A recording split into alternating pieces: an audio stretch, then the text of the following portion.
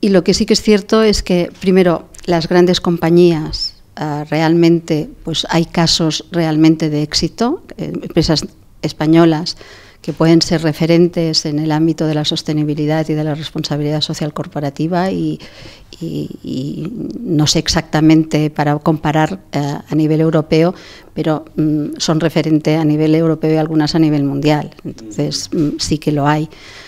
Sí que es cierto que hay mucho camino por recorrer.